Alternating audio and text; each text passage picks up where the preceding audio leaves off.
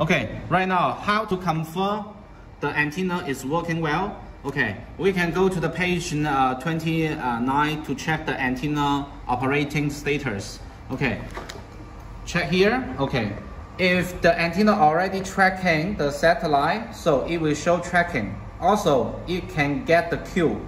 The Q must be more than 30%.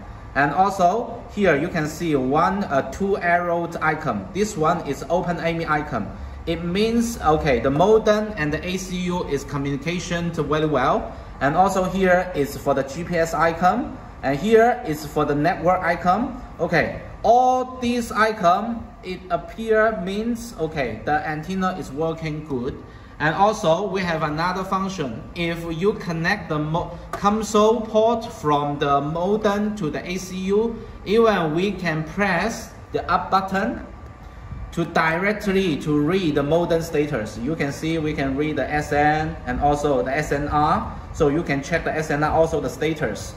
So uh, that means, okay, we can directly read the modem status from the ACU. So for the modem side, okay, it's uh, it's very easy. You need to check, okay, the RX uh, indicator, TX indicator, also the network indicator.